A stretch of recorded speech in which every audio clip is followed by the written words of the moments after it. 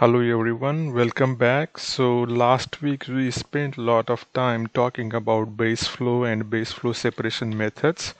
So these are the three methods that we learned um, in, in our base flow videos. So the first one is straight line method, fixed base method and variable slope method.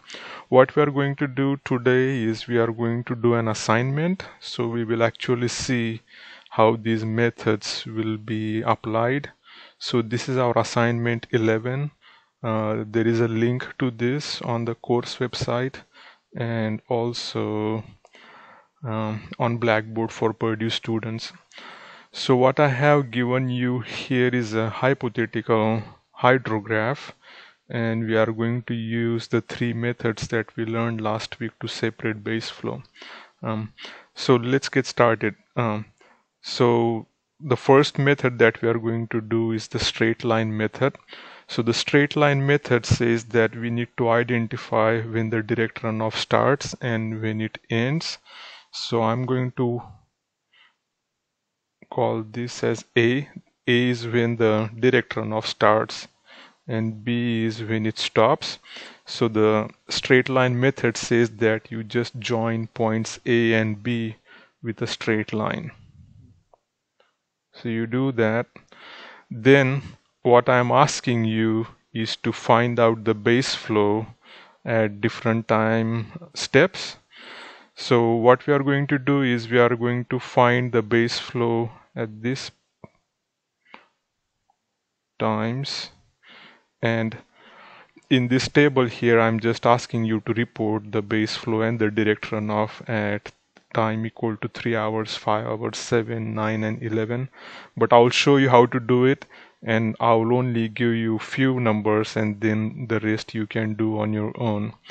So we know that the value at A is 140 which is at time equal to 3 so this is going to be 140 and the hydrograph also has 140 so there is no direct runoff at this point. Um, and as I said this is when the direct runoff starts so the direct runoff hydrograph value is 0 okay and the base flow is 40 so let's see how we can get the values at 5 7 9 and 11 so to do that what I'm going to do is I'm going to find the slope of line AB so that slope will be 140 minus 105 that's the value of base flow at A and B.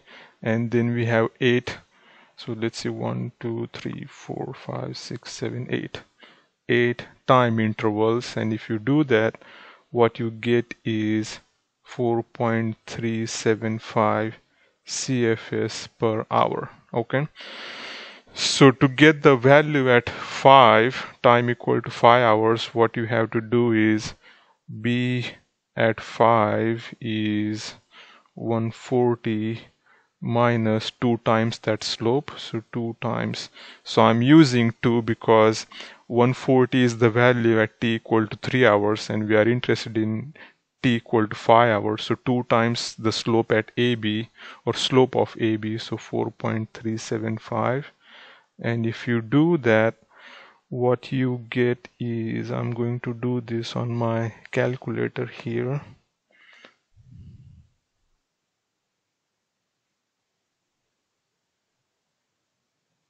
One thirty one point twenty five so this will be one thirty one point twenty five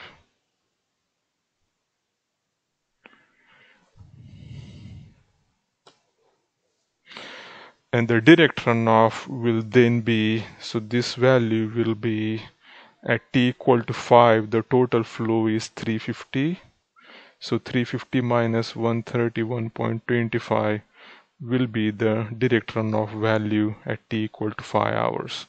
And that comes to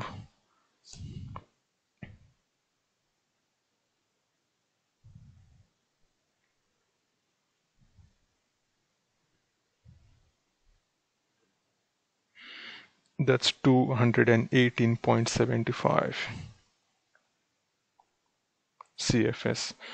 So similarly for base flow at 7 you will do 140 minus 4 times the slope.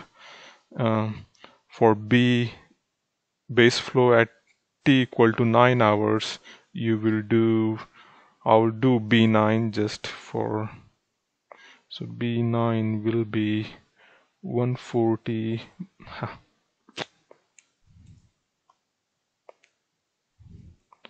140 minus so 6 times that slope 375 and let me see what do I get